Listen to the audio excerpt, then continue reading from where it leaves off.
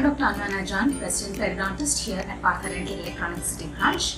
Patient named Sunita had walked into our clinic with a complaint of mobile teeth with bleeding of gums and bad breath.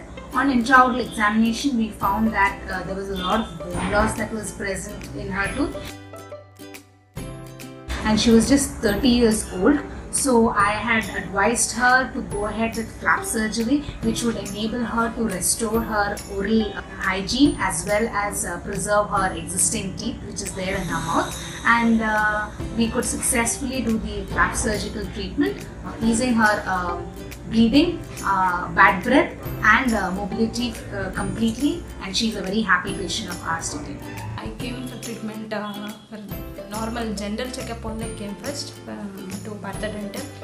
So after uh, seeing my X-ray, my bone level is very bad. So periodontist, I met uh, Anu ma'am.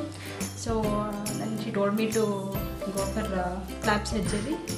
So I did uh, four sides of uh, upper, lower, everything. Full mouth I did the flap surgery.